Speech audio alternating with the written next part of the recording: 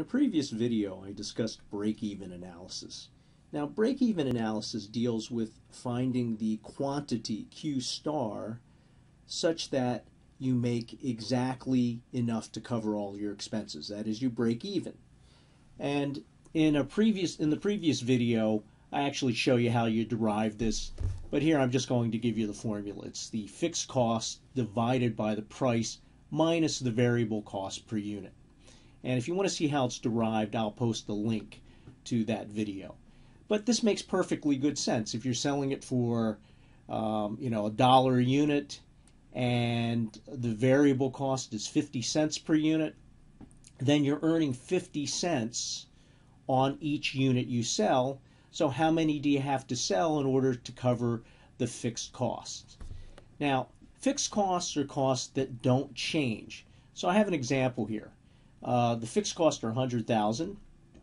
The price is $30 and the variable costs are $10. I believe this is these are the same numbers I used in the previous example.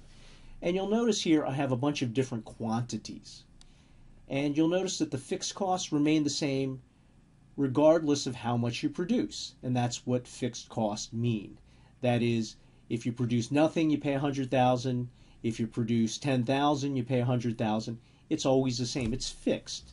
So this might be the amount that you pay to um, rent this machine, okay, or, or this factory. And you have to pay it regardless of whether you use it or not. Now, variable costs are costs that, that vary or change depending on how much you produce. And those would be things like labor cost, uh, raw materials. If you're going to produce more of something, you'll need probably more labor hours in order to produce it, and you'll need raw, more raw materials. But if you don't produce anything, it doesn't cost you anything. And if you produce, you know, the more you produce, the more it's going to cost you. So you can see these numbers go up. The total operating costs are going to be fixed cost plus variable cost. So if you don't produce anything, it's 100,000. If you produce uh, 1,000 units, it's going to be 110,000 etc. How do we get variable cost? We take the variable cost per unit, $10, and multiply it by the number of units we produce. So here it would be $10 times, for example, 8,000 or 80,000. How about revenue? Revenue is going to be equal to price times the amount that you produce. So if you produce nothing, you make nothing. If you produce 10,000 units, uh, times a price of $30, then you're going to earn 300,000.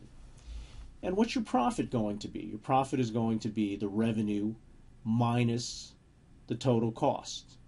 So here you're going to lose 100,000, you don't earn anything, and you have 100,000 in fixed costs.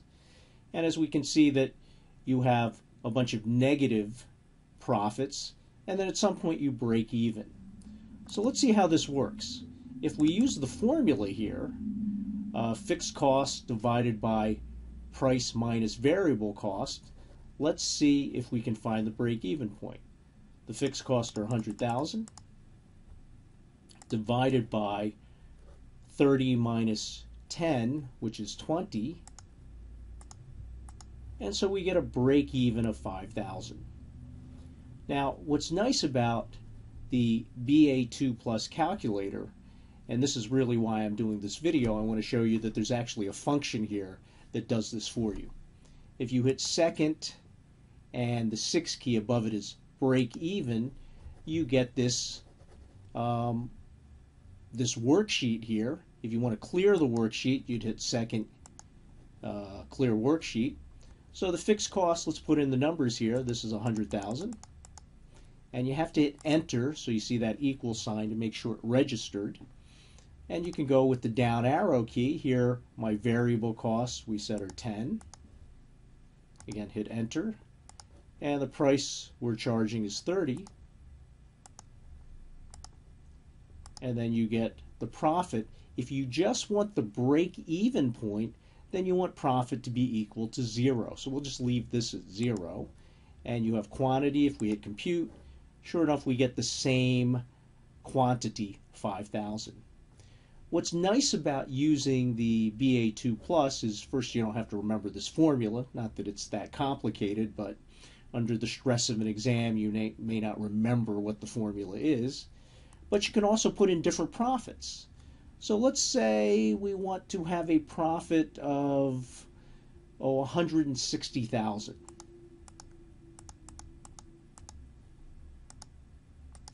Let's see what the break-even quantity is now.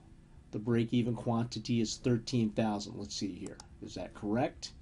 At a price, I'm sorry, at a profit of 160,000, we get a quantity of 13,000. So this turns out to be rather nice, uh, a nice function to use, a nice worksheet. So if you weren't aware of this worksheet, this is a rather handy way to solve these. You can keep changing these. It's nice because you can also change numbers here. We could change the price to see where the break-even point would wind up if we change the price, compute, oh, I'm sorry, uh, we can change the, let's see, oh, whoops, whoops, I put in 40, but I forgot to hit enter, so I forgot to register it.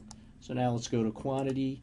We'll notice that obviously if we charge a higher price, we have a lower break-even point. So this is a, a nice function to know and something handy that's on your BA II Plus calculator.